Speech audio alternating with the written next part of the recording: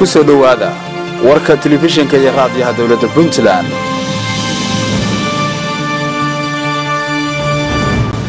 Kulanti wacan daawadayaal ku soo dhowaada warka dunida ee telefishinka dowladda puntland. Waxaad ku daawan doontaan qodobo ay ka mid yihiin. Maxkamadda racfaanka gobolka nugaal ayaa u fadhiisatay dhegaysiga racfaanka ay qaateen saddex nin oo ku eedaysan dilka caashe eliyaas oo gaalkacyo lagu dilay.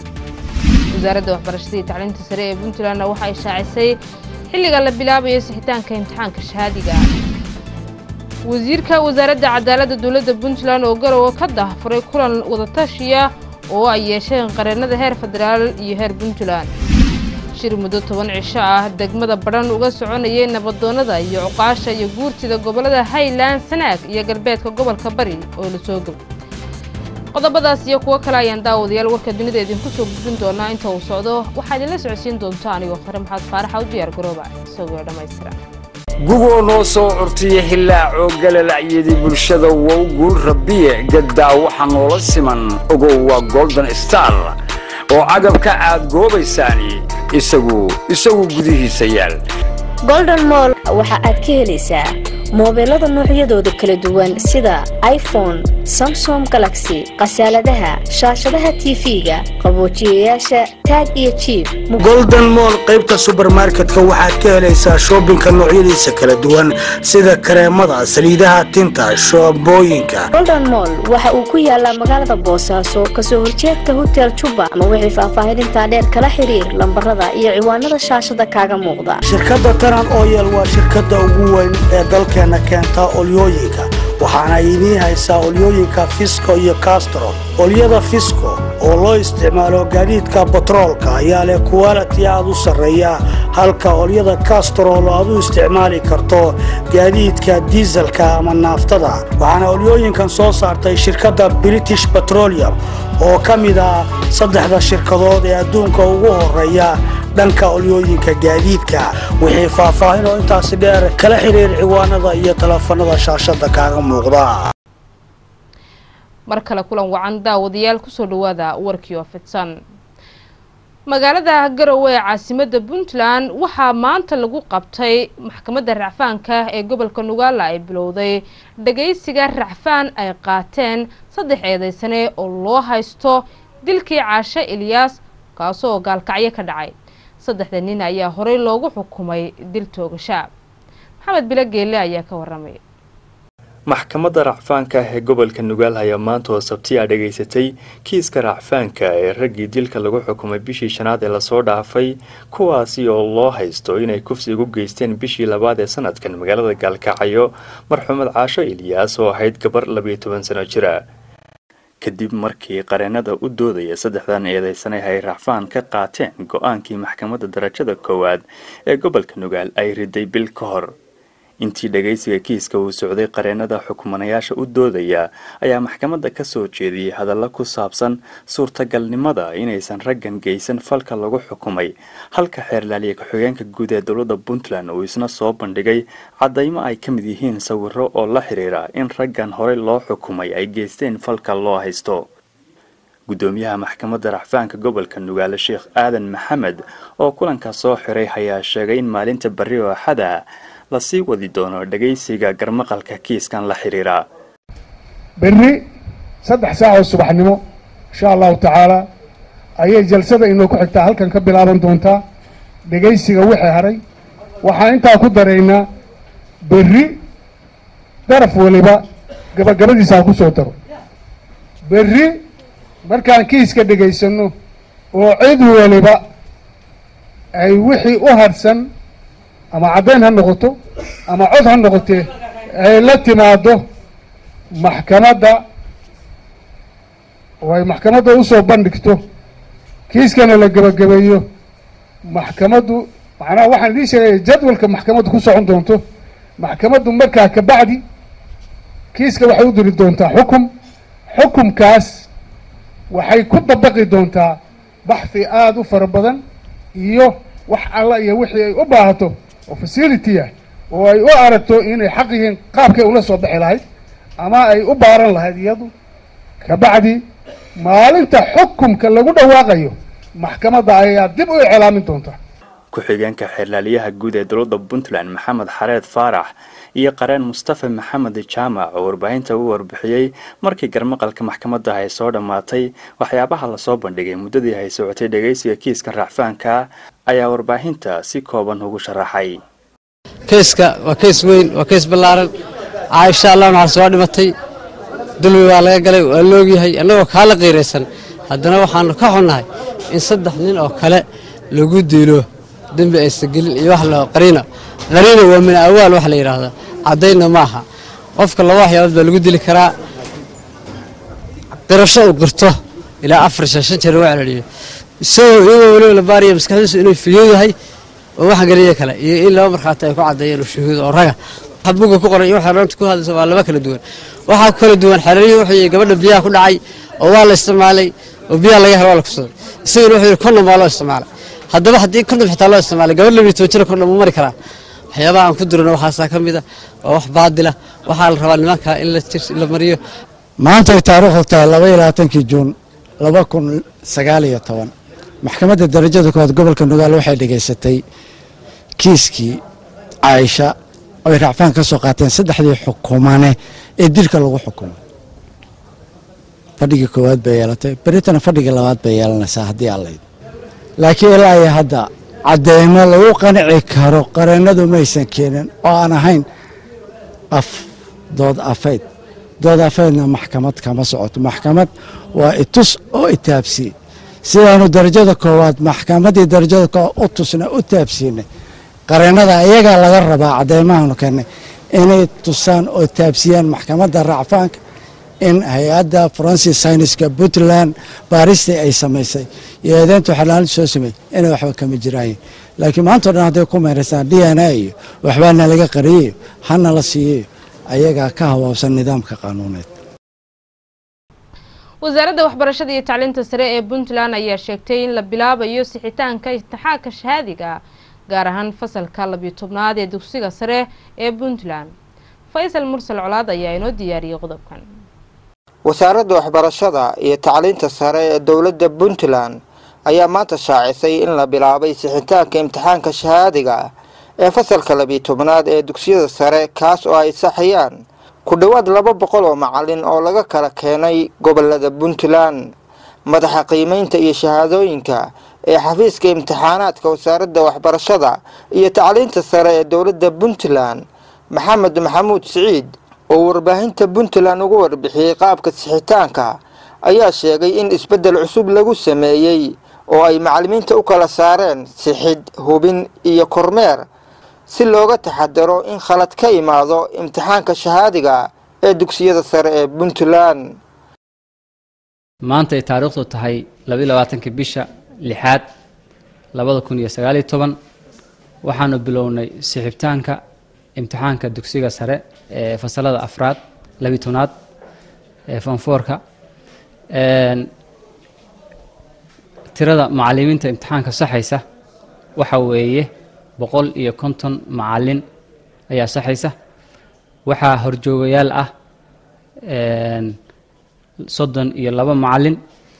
Waxaa dib u habeyn ama hubiyaal ah imtixaanka labiyo toban macalin guud ahaan tirada macalimiinta saxayaasha horjoogayaasha iyo hubiyaashaba waa boqol sagaashan iyo afar macalin.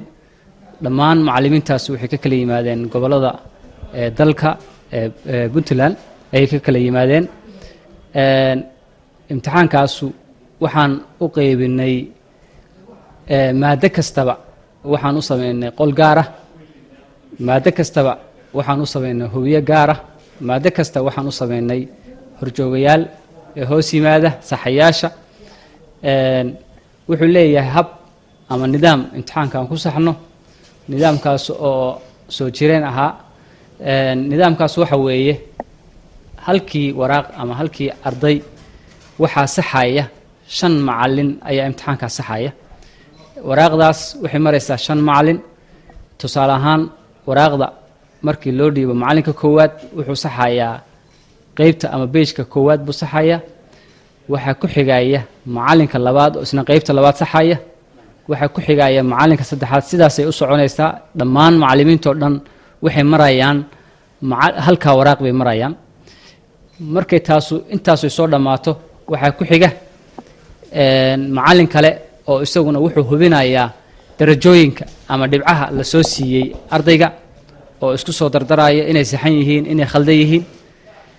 Kadibna wuxuu u sii gudbinayaa horjoogaha maadada ayuu u gudbinayaa. Horjoogaha wuxuu ka hubinayaa dhammaan waxay soo saxeen inay yihiin sidii saxda loogu talagalay inay u soo saxeen. Sidoo kale wuxuu hubinayaa darajada macalinka kale uu soo siiyey inay sax tahay ayuu hubinayaa. Horjooguhu wuxuu u sii gudbinayaa macalinka hubiyaha ah ayuu u gudbinayaa hubiyahaasa marka wuxuu ka hubinayaa horjoogaha laftigiisa ayuu misna wuxuu ka hubinayaa in ay saxan tahay. Wuxuu horjooguhu sameeyey shaqadu qabtay. Heerkaas ama heerarka kala duwan buu imtixaanku maraa. Ee, macalimiinta wax saxaya waxay wax ku saxaan qalinka casaanka ama guduudka ayay wax ku saxaan. Kuwa hubiya horjoogayaasha ah waxay iyaguna wax ku saxaan qalinka madowga ah. Hubiyaashuna iyaguna waxay leeyihiin qalin cagaar ah. Saddexdaa qalin ayaa la rabaa waraaq kastaba inay ku dhaco oo laga hubiyo. Marka ugu dambeeya xafiiska imtixaamaadka ayaa wuxuu jeegaraynayaa dhammaan wixii intaas ay soo mareen. Sixihii horjoogihii iyo hubiyihii waxaa ka sii jeegaraynaya xafiiska imtixaamaadka oo ka hubinaya waxay sameeyeen inuu saxan yahay iyo in kale. Faysal mursal colaad puntland t v garowe. Wasiirka duulista hawada iyo garoomada dowladda puntland ayaa magaalada qardho ee xarunta gobolka karkaar waxa uu ka dhagax dhigay dayactir lagu sameynayo garoonka diyaaradaha ee magaaladaasi qardho yaxye nuur muumin oo qardho noga soo warrama ayaa warkan inoo haya wasiirka wasaaradda duulista hawada iyo garoomada puntland eliyas cismaan lugatoor iyo mas'uuliyiin kale oo ka tirsan wasaaradda uuna ka mid yahay agaasimaha guud ee wasaaradda duulista hawada iyo garoomada puntland cismaan cali yuusuf ayaa soo gaaray magaalada qardho ujeedka socdaalka wasiirka iyo wafdigiisa ayaa salka ku hayay ka qaybgalka dhagaxdhigga dayactirka lagu samayn doono dhabada ay ku cararaan diyaaradaha ee garoonka diyaaradaha magaalada qardho injineer abshir muuse airabort sidoo kale waxaa goobjoog ahaa mas'uuliyiinta gobolka karkaar maamulka hanad construction oo ah shirkadda dayactirka ku samayn doonta garoonka diyaaradaha saraakiisha dhanka ammaanka ee garoonka diyaaradaha iyo mas'uuliyiinta garoonka diyaaradaha injineer abshir muuse airabort gacanta ku haya. Gudoomiyaha gobolka karkaar cabdulaahi maxamed bare caato ayaa wasiirka iyo wafdigiisa ku soo dhoweeyey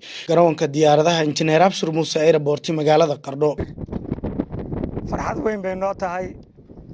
Saaka inaad noo daafurto dayactirka laga qabanayo ayroboorka qardho oo muddo dayacnaa dhowr jeerna horay dowladdu wax uga qabatay hase yeeshee roobabkii badnaa iyo muddo dheer dayactir uusan helin ay maalintii dhoweed ay gaareen in xataa diyaaraduhu ay khatar ku galaan. Maanta qalabkii iyo shaqadii iyo kambanigii ama shirkaddii shaqada fulin lahayd oo dhammaan inoo diyaar ah waxaannu kaa codsanaynaa inaad noo daahfurto si aanu ranweyga uu dib dambe uu u shaqo galo. Waxyaalaha cilladaah oo la dareemayana looga xafido maamulka hanad construction oo ah shirkadda dayactirka ku samayn doonto garoonka diyaaradaha magaalada qardho. Ayaa ka hadlay goobta waxaana uu sheegay hanad construction inay had iyo jeer u taagan tahay ka qayb qaadashada horumarinta kaabayaasha dhaqaalaha. Shaqada hadda dowladda nagu aamintay oo ku salaysan dayactirka aerobortka abshir muuse international insha allah runweyga iyo baakinka iyo siirowga diyaaradda ku soo kala firayso dhammaanteed in aanu waraab wanaagsan iyo caro wanaagsan oo aanu laab iyo shaybaar wanaagsan marinay iyo garaac wanaagsan u samayno haddii rabbi idmo hadda diyaaradihii xilligii roobaadka aad bay ugu dhiiqoodeen insha allah igeeda dayactir kaamila baan ku samayn doonaa. Musqulo iyo soolaro guriga loo saarayo askarta iyo dhammaanteed shaqo fiican baan rabnaa inaan ka qabanno haddii alla idmo marka waxaan uga mahad celinaynaa dowladdii noo dhibtay ama nagu aamintay waxaan kale uga mahad celinaynaa shaqada wanaagsan oo ay ka qabanayso dalka meelaha dhaqaalu ka soo galo khaasatan hadda gobolka karkaar oo la odhan karo cashuurta duunyaha xeebaha kalluumaysiga iyo ayroboorka qardhood bay si gaar ahaaneed puntland inta kale way la wadaagtaa. Laakiin dhaqaaluhu ka soo galaa gobol ahaan karkaar. Insha allah igeeday marka in looga soo gudbo noqdo airport international oo laamigii si fiican loogu sameeyo haddii rabbi idmana waa rajaynaynaa haddii alla idmo aad baanu siinta tanba uga mahad celinaynaa wixii lanaku aaminay waan ka soo bixi doonaa insha allah sidii lanaku aqoon jiray maaha inaanu mar kasta nafac raadinno waxaanu raadinaa magac iyo sharaf dalka inuu yeesho oo kaasaanu la wadaagnaa dadka iyo ummadda la wadaagnaa. Ilyas cismaan lugatoor wasiirka wasaaradda duulista hawada iyo garoomada puntland ayaa sheegay garoonka diyaaradaha magaalada qardho inay ku samayn doonaan dayactir sidoo kalena silig lagu wareejin doono dhulka uu ka kooban yahay garoonka. Waxaa la dayactiri doonaa ranwayga oo dherarkiisu yahay laba kilomitir iyo afartan mitir oo tagsweyadii maaragtay ballarka ah iyo baarkinka oo dhinacna shan boqol ah. Dhinacana shan boqol u ah dhinaca kalena saddex boqol u ah. Waxaa lagu samayn doonaa dayactir dhammaystiran oo maarata shaqo weyn baa laga qaban doonaa. Runtii farxad weyn bay inoo tahay. Waxaana rajaynaynaa inaysan ku ekaan doonin shaqada aanu ka qaban doonaa airboortka kan. Airboortka hadda waa domestic laakiin insha allah waxaan rajaynaynaa airboortka general abshir muuse international airport inuu noqdo airport shaqeeya oo aan maaragtay hadda saddexdii airport waaweynaa internationalka ahaa baan maaragtay shaqo weyn ka haynay. Waxaa qorshaha labaad inoogu jiro aynu maaragtay guddiga taakulaynta aanu maaragtay gobolkan karkaar oo aanu mahad badan u hayno. Wada shaqayn fiican inaa naga dhaxayso shaqadana qayb ku leh inaan inaanu ka wada hawlgallo sidii fencing loogu samayn lahaa airportka oo waayo airportka sirgeelo jilicsan baa awal ku jiray. Waxaan kaloo rabaa fursadda inaan kaga faa'iidaysano ummadda reer puntland ugu bishaarayno in shan iyo tobanka bisha soo socota flight ku horreeya international ethiopian airline boosaaso airport iyo garowe airport labadaba. Ay flightki joogtada ka bilaabi doonaan dadkeenu heli doonaan. Dunida meel kasta inay socodkoodu maaragtay fududaado. Iyadoo aanu u samayn doono maaragtay dabaaldeg weyn iyo xaflad weyn oo aanu maaragtay ku soo dhoweyn doono.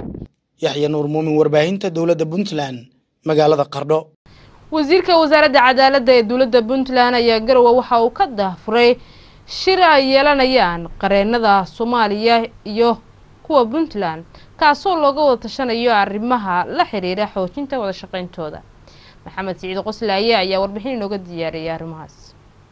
Watashigan oo muhiimadiisu ahayd sidii loo midayn lahaa shuruucaha qareennada ee heer federaal iyo heer maamul goboleed iyo midaynta xeer hoosaadka qareemada ayaa ka furmay caasimada puntland ee garowe. Wasiirka wasaaradda cadaaladda arrimaha diinta ee dowladda puntland cawil sheekh xaamud ayaa daha furay kulankaasi waxaana uu qareemada u jeediyey hadallo ku qotamay muhiimadda ay leedahay midaynta qareemada soomaaliya. Haddii aan midnimo la helin oo idinku kala qaybsan tihiin bareemidiinnii ma shaqaynayso. Suurtagalla ma noqonaysa in badan. Waa inaydaan ku dhisnaan gobol gobol degmo degmo reerka a ka timaadeen qabiilka aad tihiin. Bareemidiinni waa inaysan ku dhisnaan. Waa ka duwantihiin idinku dadka. Exceptional baati dhexdiinnana inaad xoojisaan xiriir kastaa u yeelan lahaydeen dowlad goboleedyada qareemadooda iyo dowladda federaalka iyadana waa arrin lagama maarmaana oo laydinka baahan yahay inaad ka wada shaqaystaan haddana waa joogtaa waan u malaynayaa xaliimo guddoomiyaha ururka qareemada ee dowladda. Midda aan rabaa waxay tahay oo kale inaan ku darsado oo qodobka saddexaad ka dhigto. Ruksada qareemanimadu khalad baa ka jira hadda khaladkaasina wuxuu ka jiraa xagga dowladda federaalka taas oo sheegaysa cid aan federaalka ka qaadan laysans qareemannimo inaysan shaqayn karin oo gobollada ka shaqayn karin. Xamar ka qaado laysan haddaada ka qaadan ma shaqaynays arrintaasi arrin saxa maaha arrintaa waxaa la rabaa marka inaad si wada jira uga soo wada horjeensataaniin labadii guddoomiya hadda waa joogaan qolyihii kaleeto dowlad goboleedyada ahaana waa u socdaan sidaan rajaynayo arrimahaasi waxay keenaysaa haddii arrintaasi socoto waxyaabo badan oo tuhun oo dowladda federaalka ku saabsan. Oo ah dowladdu inay wax kasta yuusarbi ku samaynayso iyadoo dhacayso xoog ku qaadanayso. Cabdiqani faarax maxamuud oo ah sarkaal ka tirsan xafiiska xeraalinta guud ee dowladda puntland gudoomiyaha ururka qareemada puntland siciid cabdiweli cabdi iyo xaliimo maxamed macalin oo ah gudoomiyaha ururka qareemada dowladda federaalk ee soomaaliya. Oo munaasabada si wadajira uga hadlay ayaa sheegay in ay muhiimad gaara leedahay midaynta qareemada soomaaliyeed guud ahaantooda. Inaynu iska warhayno waa lagaba maarmaan. Inaynu hal mid noqonno waa lagaba maarmaan. Waxaa dowladnimadu dowladnimadeennii burburtay waxaa lumay shuruucdii iyo kala dambayntii dadka dib u soo celin kara waa dadka sharciyaqaaniinta. ah ama garsoor ha ka shaqeeyo ama ururka qareennada ha ku jiro. Waxaynu nahay hal mid. Waxaynu nahay dad hal meel ka wada duulaya. Marka waxaynu u baahannahay sidaynu isugu xidhnaan lahayn sidaynu meel uga wada jaanqaadi lahayn. Waxaa la rajaynayaa inuu ahaado mid aad ku midowdaan oo ajandayaal ama maaragtay waxyaabo action balaano ama qorshayaal. Muhiima inay ka soo baxaan ood ku midaysan tihiin dowladda federaalka iyo dowlad goboleedka puntland qareennadooda waxaad is afgarada inay ka soo baxaan baan rajaynayaa shirka qareennada puntland oo runtii hogaaminahaya dhammaan xubnaha ururka qareennada puntland oo mar walba muujiyo isku duubni iyo midnimo iyo in ay si wanaagsan noogala qayb qaataan hawsha aan wadno oo ah sidii aan ku gaari lahayn ururka qareennada soomaaliyeed oo hal weji leh ujeeddadooduna ay tahay sarraynta sharciga. Meel walba ay joogaan dhammaan gobollada dalka. Shirkan oo socon doona maalmaha soo socda ayaa la fili doonaa ugu dambayntii inay ka soo baxaan warmurtiyeed iyo qodobo ay isku raaceen qareemada puntland iyo kuwa dowladda federaalk ee soomaaliya. Maxamed siciid qoslaye warbaahinta dowladda puntland garowe. Shir muddo toban maalmood uga soconayay magaalada badhan nabadoonada waxgaradka iyo cuqaasha gobollada sanaag highland iyo galbeedka gobolka bari ayaa la soo gabagabeeyey. Shirkan waxaa looga hadlayay arrimaha ammaanka iyo farigelinta maamulka somalilan ee gobolka sanaag. Xasan dhagayare ayaa ka waramaya shirkan oo muddo toban cisho ah degmada baran uga soconayay cuqaasha nabadoonada iyo guurtida gobollada sanaag highland iyo galbeedka gobolka bari ayaa maanta waxaa lagu soo gebagabeeyey xarunta wasaaradda haweenka ee degmada baran. Waxaana shirkan looga hadlayey amniga gobollada sanaag highland iyo galbeedka gobolka bari waxaana nabadoonada cuqaasha iyo guurtida shirkaas uu baran uga soconayey muddada tobanka cisha ayaa maanta waxa ay bulshada magaalada baran u soo bandhigeen go'aamadii iyo baaqyadii ay shirkaasi ka soo saareen.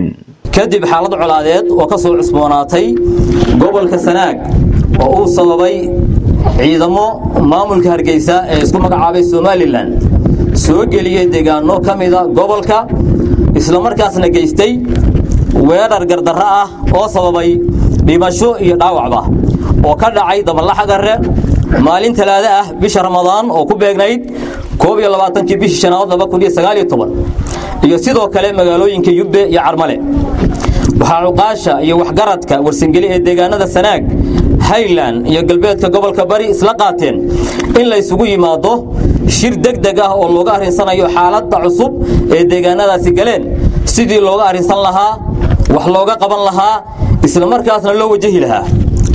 Shirkaasi oo ka furmay magaalada baran taariikhdu markay ahayd tobankii bishii lixaad waxaa ka soo qayb galay ergo tiradoodu dhan tahay lixdan ergey oo ay hoggaaminayaan cuqaasha beeluhu. Shirku markuu ansixiyey ajandihii ama qodobadii laga hadli lahaa waxaa shirku iska qabtay guddi farsamo oo ka kooban shan iyo toban xubnood. Waxayna iska dhex doorteen shir guddoon ka kooban saddex xubnood iyo xoghayin ka kooban sida oo kale saddex xubnood. Falanqayn iyo lafagur lagu sameeyey qodobadii shirka looga hadlayey kadib waxaa la soo saaray go'aanno iyo baaqiyo dhinacyo badan taabanaya. Waana sidan. Kow kadib markii markay soo noqnoqotay sheegashada iyo ka tirsanaanta dalka iyo dadka ku dhaqan gobollada sanaag highland iyo galbeedka gobolka bari maamulka hargeysa ee isku magacaabay somalilan waxaa shirku go'aamiyey ba in deegaanadaas iyo dadka ku nooli kuna dhaqani aanay ka mid ahayn waxna ku darsan cid ku matashaan aynay jirin maamulka isku magacaabay somalilan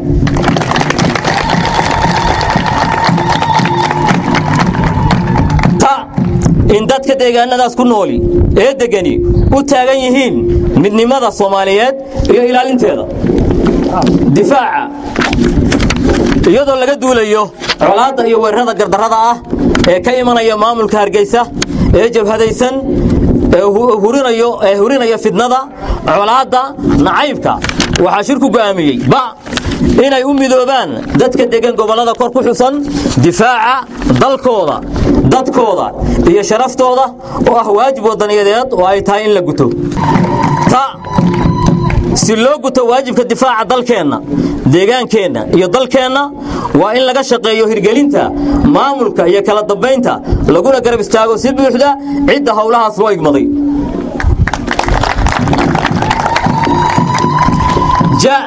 si ay u suuro gasho gudashada difaaca deegaankeenna dadkeenna jiritaankeenna iyo sharafteenna waa in loo huraa dhaqaale cudud iyo ciidan. Waxaana shirku soo saaray guddiyo ka howlgala arrimahaas. Xa shirku wuxuu go'aamiyey in midnimada dadka gobollada sanaag hayland iyo galbeedka gobolka bari ay tahay lama taabtaan islamarkaana meel looga soo wada jeensado ciddii waxyeello ku ah shirku wuxuu sidoo kale soo jeedinayaa baaqiyo dhinacyo badan taabanaya kow baaqa koowaad iyadoo la tixgelinayo heshiisyadii nabadaynta ee beelaha daris wadaagta ah ee gobolka sanaag waxaan ugu baaqaynaa beelaha heshiiskaasi dhex maray inay meel uga soo wada jeestaan ilaalintiisa wixii wax u dhimayana ay ka hor tagaan. Labo baaqa labaad sida la og yahay colaadda gobolka ka soo cusboonaatay waxaa sabab u ah ciidamada maamulka hargeysa uu soo geliyey degmada yubbe ee gobolka sanaag. Taasoo waxgaradka gobolku hore uga digeen. Haddaba waxaan mar labaad u sheegaynaa inay ciidamadooda kala baxaan deegaanadaas kuna celiyaan fadhiyadoodii si loo soo celiyo nabadgelyadii iyo xasiloonidii gobolka. Baaqa saddexaad shirku wuxuu ugu baaqayaa maamulka puntland ee soomaaliyeed inuu guto waajibka ka saaran ilaalinta iyo difaaca dalka iyo dadka ku dhaqan gobollada sanaag hayland iyo galbeedka gobolka bari. Waxaa shirku ugu baaqayaa maamulka puntland ee soomaaliyeed inuu guto waajibka ka saaran hirgelinta maamulka iyo kala dambaynta ee deegaanadaas kor ku xusan. Sanaag hayland iyo galbeedka gobolka bari baaqa afraad iyadoo dadka gobolladan degaa dhul iyo dadba ay ka mid yihiin dowladda soomaaliyeed una taagan yihiin midnimada soomaaliyeed. Waxaan ugu baaqaynaa dowladda soomaaliya iyo golayaasheeda inay caddeeyaan mowqifkooda ku aadan colaadda sokeeyo ee maamulka hargeysa ka hurinaya gobolka sanaag iyadoo aamuska dowladda dhexe uu u muuqanayo inay qayb ka yihiin kala geynta iyo burburinta midnimada ummadda soomaaliyeed ugu dambayn iyadoo shirkani ahaa shir xaalad degdega ku yimi ajandihiisuna koobnaa. Wax badanna aan lagu lafaguri karin wuxuu shirku ku baaqayaa in loo baahan yahay. Shirweyne caadi ah oo intaa ka ballaaran oo lagu qabyatiro wixii dhiman. Wabilaahi tawfiiq. Xasan cismaan aadan xasan dhegeyre t v-ga iyo idaacadda dowladda puntland baran waa tahay xasan dhagayare waa uu mahadsan yahay xildhibaano ka tirsan baarlamaanka dowladda puntland oo laga soo doorto gobollada sanaag iyo highland. Ayaa iyagu taageeray shirkaasi loogu hadlayay arrimaha masiirka gobollada highland sanaag iyo galbeedka gobolka bari waxa ay sheegeen in ay ku taageerayaan in dadku ay ka wada hadlaan masiirkooda iyo sidoo kale arrimaha khuseeya horumarka goboladaasi waryaheena maxamed bilogeelle ayaa mar kale qodobkan inoo ambaqaadaya xildhibaanadan ka tirsan golaha wakiilada puntland ee laga soo doorto gobollada sanaag iyo hiilaan oo warbaahinta kula hadlay magaalada garowe ayaa taageero ballaaran u muujiyey shir muddo toban beri ah uga socday magaalada badhan nabadoonnada cuqaasha iyo guurtida gobollada sanaag iyo hiilaan kaasi oo shalay lagu soo gebagabeeyey halkaasi islamarkaana looga hadlayay amniga goboladaasi iyo in qadiyad ahaan madaxda dhaqanka goboladaasi iyo shacabkuba ay ka soo horjeedaan faragelinta maamulka somalilan dhulkuna uu yahay puntland.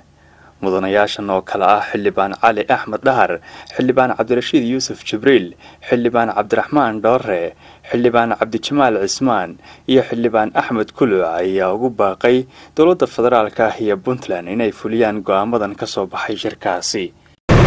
Go'aamadii iyo baaqyadii ka soo baxay shirkii baran uga socday nabadoonnada wurtida iyo waxgaradka beesha warsangeli ee gobollada sanaag iyo hayland iyo galbeedka bari. Run ahaantii waxaannu aad u soo dhowaynaynaa taageero buuxdana la garab taagannahay go'aammada iyo baaqyadaas. Sidoo kale waxaannu u soo jeedinaynaa meelaha baaqyada ay u direen oo dowladda federaalka dowladda puntland iyo maamulka daandaansiga gardarrada ku wada gobollada ee uu muuse bixi madaxda ka yahay hargeysa in cid waliba sida loola hadlay ay u qaadato una fuliso. Mudanayaashii gobolka gobolladaas in shirweynahaas go'aammadii ka soo baxay aannu sidaa ku taageersannahay kulana shaqaynayno aragtidaasna la qabno. Sidoo kale aannu taageersannahay baaqyadii ay u soo jeediyeen. Dadka shacabka ee walaalnahayn gobolka sanaag wada degno iyo dowladda puntland iyo maamulka la baxay somalilanba hal qodonba raba anigu inaan ku daro. Dowladda puntland waxa la gudboon. Gobolladaasi waa gobollo reer puntlandna xuduudaha iyo amniga gobolka siday odayaashuba codsadeen ee ku soo saareen booqoda inay dowladdu xilis ka saarto waajibaadkeeda dastuurigaana ay qabsato. Waxaan mar labaad u mahambalyeenaya u mahadnaqaya ciidamadii geesiyaasha ahaa ee fahmay in lagu khaldi lahaa inay dadkooda iyo walaalahooda iyo hooyooyinkooda iyo aabbahood inay ka nabad galeen. Awaamirtii la doonayay inay ku waxyeeleeyaan waxaanan kula xisaabtami doonnaa dhammaan wasaaradaha xukuumaddan ka tirsani inay gaadhsiiyaan oo xafiisyo ka furtaan gobollada sanaag iyo haylaan oo aad moodid inay dowladii horena ka gaabiyeen tanna aanay weli hadda ka furin muuse wuxuus yidhi wax badso laakiin wax beel bay u dhashay. Waxay u dhashay shacabkii reer sanaag oo siyaasiyiintoodii waxgaradkoodii cuqaashoodii iyo shacabkoodiiba ay ku midoobeen caddeeyeenna waxa ay yihiin. Beesha caalamka waxaan u sheegaynaa iyo dowladaha deriska nala ah go'aanka ay qaateen dadka shacabka reer sool iyo reer sanaag in wax lagu qiimeeyo lana hirgeliyo lana ogaado shicibkaasi inaanu ka tirsanayn maamulka waqooyiga. In maamulkii gardarrada ku yimi oo gobollada waqooyi ka soo jeeda inay u dheg yeeshaan iyaga ruuxoodu fahmaan oo gartaan oo dhaqangeliyaan baaqyada loo soo dilayay oo dabajoogga ahaa oo ahaa inay ciidamadooda meesha kala noqdaan si nabadgelyo ah dadka deriska ah oo ku guhoobay gobolladaas dhinac kasta ha ahaadeene in ay iyaguna tixgeliyaanin nabadgelyadii iyo daaqii lagu daaqi jiray nabadgelyadii iyo baaqii ku dhisnayd beelaha meelahan gobolka sanaag wada dega. Ruuxooda waxaan u soo jeedinaa odayaashu sheegeen inay dadkaasi tixgeliyaanin wixii lagu heshiiyey dhowr iyo sagaashankii oo ahaa in nabadgelyo lagu wada daaqo meesha laakiin dowlad iyo maamul dadka ka dhexeeya ma jiro. Wasiir ku-xigeenka wasaaradda arrimaha gudaha ee dowladda puntland cabdiweli mire xirsi ayaa xilalkii u kala wareejiyey maamulkii hore ee degmada burjinle ee gobolka nugaal iyo maamulka cusub ee sida kumeel gaarka ah loogu doortay magaalada burjinle. Waxaa xaflad ka dhacday magaalada burjinle loogu kala wareejiyey mas'uuliyiintaasi xilalka waryaheena axmed cabdulaahi cali ayaa inooga soo diray burjinle warkan. Socdaalka wafdigan uu hogaaminayay wasiir ku-xigeenka wasaaradda arrimaha gudaha dowladda puntland waxaa ku wehelinayay agaasimaha qorsheynta wasaaradda waxaana uu ujeedka socdaalkooda u ahaa ka qaybgalka xilwareejinta gudoomiyihii hore ee degmada buurtinle iyo gudoomiyaha ku-meelgaarka ee dhowaan loo magacaabay degmada buurtinle. Ugu horeyntii waxaa munaasabada ka hadlay gudoomiyihii hore ee degmada buurtinle maxamed maxamuud axmed buurdibi tahay labaylabaatanki bishii juun labada kun iyo sagaal iyo tobanka waxaa farxad weyn ii ah. Anigoo muddo soo hogaaminayay degmada buurtille ilaa laga bilaabo afartii oktoobar labada kun iyo shan iyo tobankii waxaan rabaa inaan u mahadceliyo guud ahaan bulsho weynta reer buurtille ay ugu horeeyaan odayaasha. Taliyaha booliiska xogayaashii kala duwanaa dhammaan gulihii deegaanka ila shaqayn jiray wada shaqayntii wanaagsanayd ayna soo dhex madhay waxaan soo dhoweynayaa guddoomiyaha cusub mudane cabdirasaaq diihaal iyo guddoomiye ku-xigeenka maxamed cabdixakiin aan ku faraxsanahay runtii ah niman aan soo wada shaqaynay istaahila maantay inay la wareegaan xilka degmada.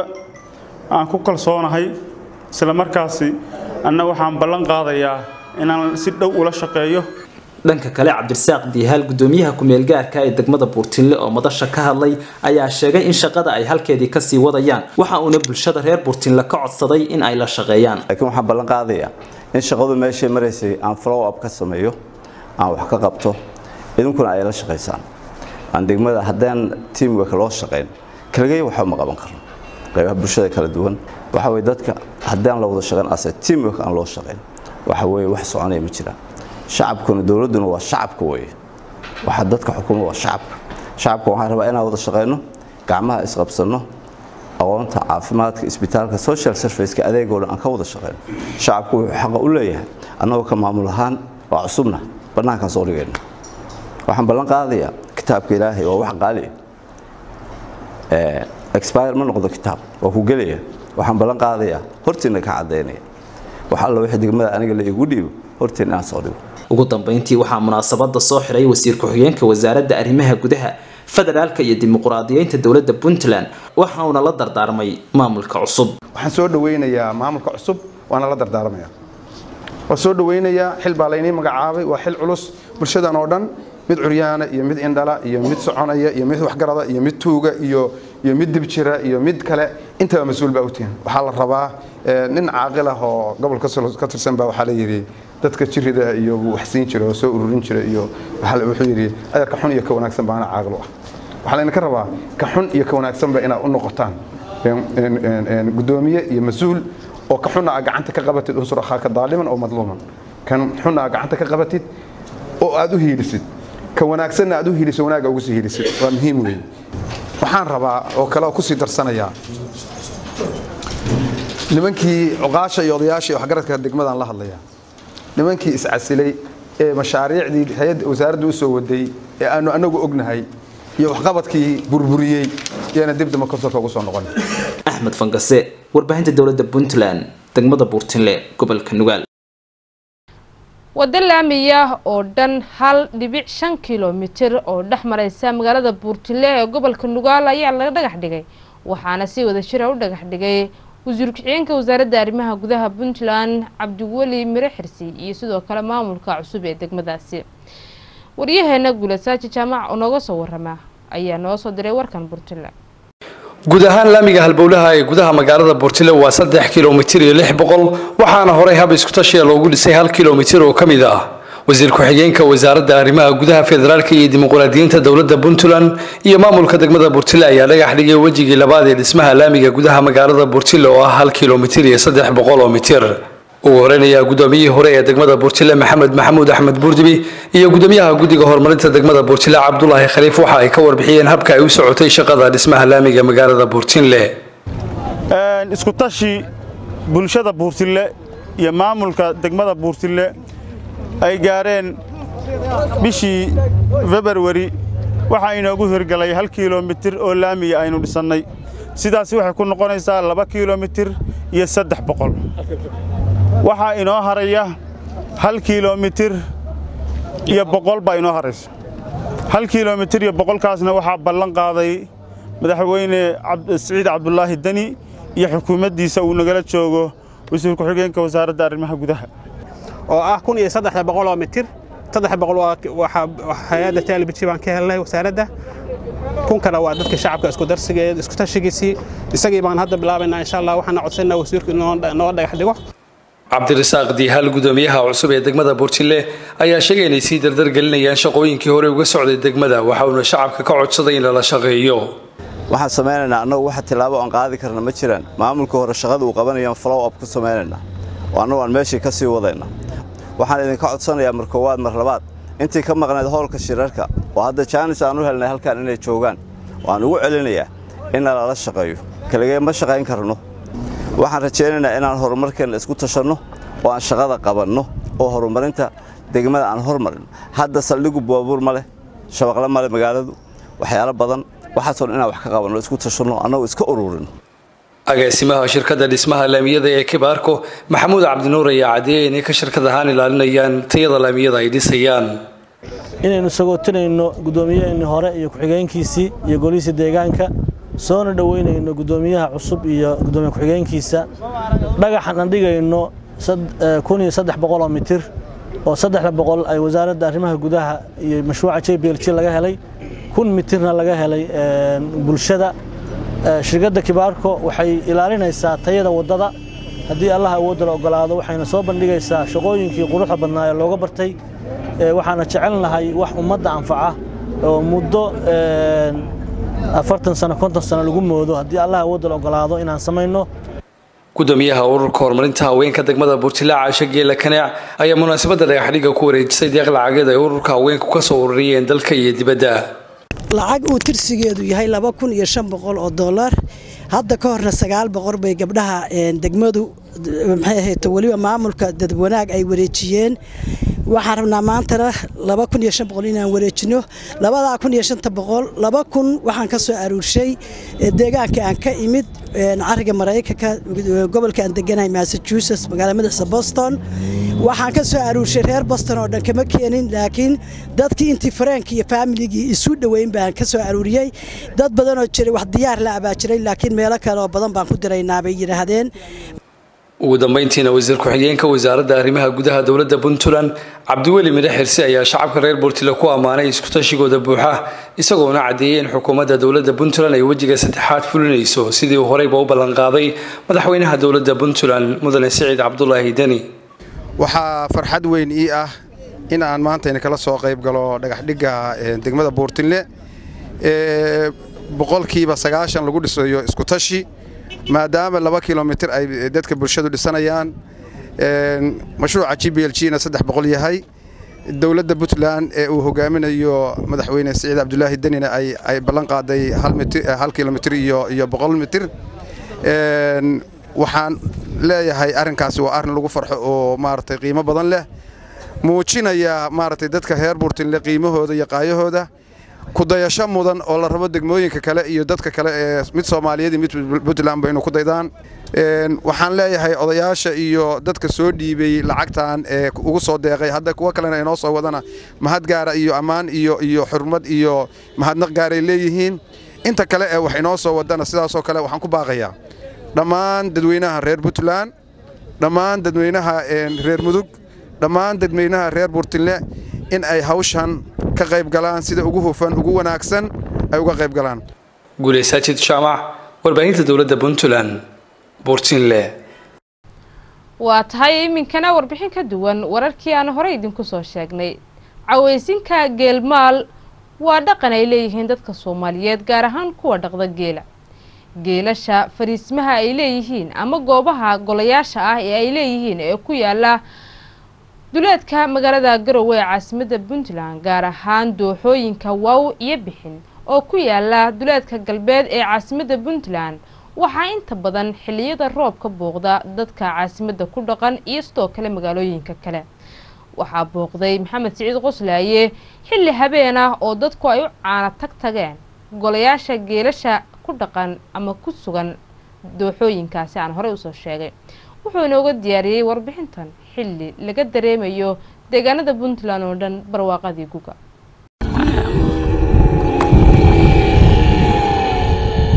Cawaysin maalidda geela waa mid dhaqan ahaan soo jireena xilliga barwaaqada waxaana sannadadii dambe soo badanayay bulshooyinka ku nool magaalooyinka waaweyn oo galaha geela ku sugaya caanaha cawaysinka la maalo waxaan xilli fiida safar shaqo ku tegay dooxada wow ee dhacda galbeedka caasimadda puntland ee garowe. Waxaana halkaasi aan kula kurmay qaar ka mida geeleyda dooxooyinkan dooxooyinkaasi geela ku haya. Geelow xilligan oo kale barwaaqada haddii la joogo. Geelow salaadii waa dareeraa waa soo daaqaa habeenkii dee dhaqan baa jira. Cawaysin maal waa la cawaysin maalaa fiidkii goortay tahay. Oo barwaaqadooyinka xilliyadan oo kale waa la cawaysin maalaa misna subaxdii oo kale misna waa la lisaa. Marka kale oo ma garanaysaa qaababkiisu waa qaab noocaas.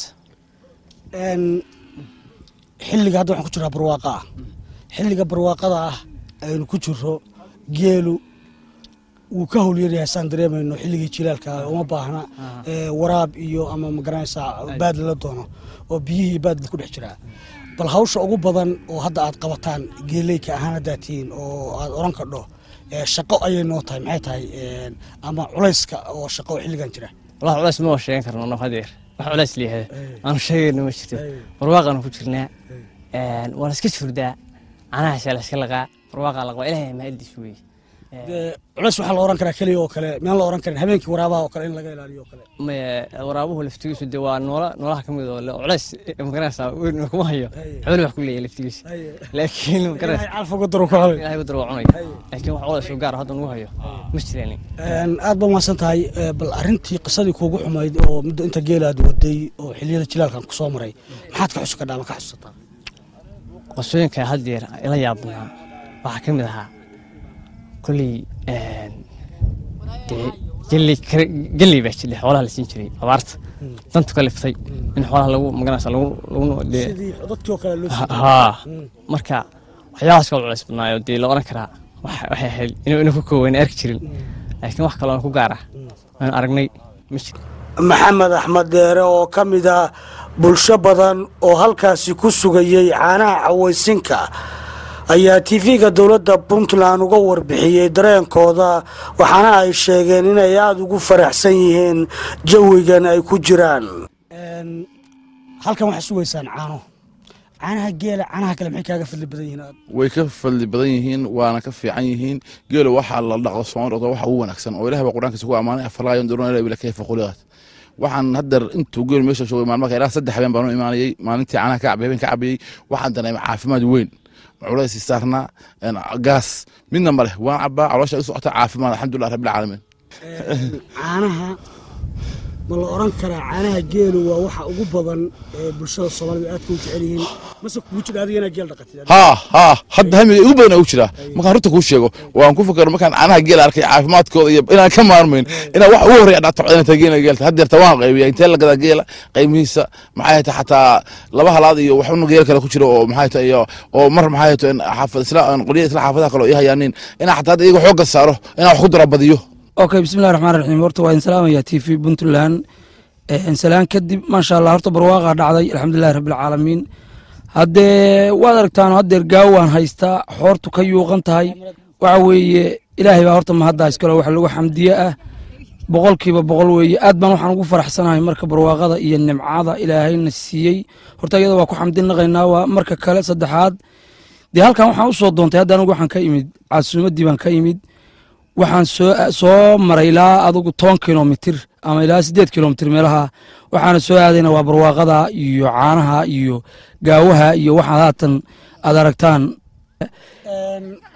Geeley ma soo dhaqatay geel oo yaraantaad ku soo barbaadhay wax badan baan geel soo dhaqday haa. Geela waa waxaan ku koray caano geel bay ahaayeen. Geeluba sidiisaana wax kale baan ka aaminsanahay inuu macquul u yahay dee rasuulkeennii baa sheegay calayhi salaatu wasalaamu dee geelu wax cayaar geli kara maaha. Qur'aankana way way barabiya waa ay ku jidhaa. Caanaha geelu wax la heli karaba maahan oo dee qabiilo dhan oo diridhay wax kala dhaqaajiya ama boqollo lagaga samro geel baa jira. Maasha allah caanaha nimcadu waa maasha allah nimca ilaahay barwaaqa. Alxamdulilah ilaahay mahadiis geeliyoo dhalay ilaahay roob inoo diiyey. Barwaaqadiisaanu dhex dabaalayna caana geel caanaha geela caanaha kale maxay kaaga duwan? Maasha allah caanaha geela waa caanaha adduunka u qaalisan. Ilaahay dee nimcadiisa weeye. Waa kaa. Waxaan dhihi lahaa qurbashoogta dalkooda ha timaada isagaa nimco iyo adduunya ku dhan tahay. Muxuu ahaa xoolahoodana ha dhaqdeen. Haddii la kula nimcada soomaaliya taalo dibadda ma taalo. Adiga hadda geeli baa u timi gelihiisi baa joogtaa geel haddii la yaabo dhaqashada geela haddeer. Oo kale ama inay kharash ku bixiso dad badan oo reer magaala jira hadda dhaqanaya. Waa ku bixin lahaa wallaahi. Boqolkiiba boqol waa ku bixin lahaa dad badanna waxay noo sheegeen xagga caafimaadka in wax badan iskaga gartaan caanaha geela daa caafimaad weeye. Kaashiyanka qofka lafahala waa waa fitamiin wuxuu ka helayaa si haddii la kuriya qof kastoo cabo kan sokorta qaba.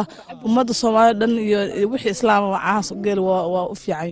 Maxamed siciid qoslaaye warbaahinta dowladda puntland garowe.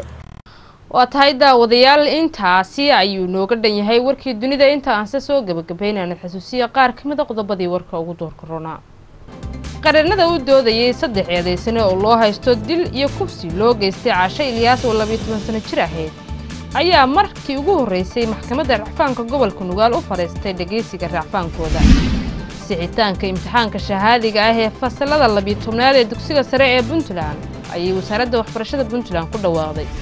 Shiri muddo toban cisho ah degmada badhan uga soconayay nabadoonnada cuqaasha iyo guurtida gobollada sanaag haylan iyo galbeedka gobolka bari oo la soo gebagabeeyey dibaddana muritaaniya markii ugu horraysay doorasho dimuqraadiya ayaa ka dhacaysa kadib afgembiyo dhowra oo ay soo martay guud ahaan daawadayaal waa naga intaa warkii dunida ee telefishinka dowladda puntland. Warka waxaad in akhrinaysay anigo khadre maxamed faaraxa farsamadu waa faysal mursal colaad.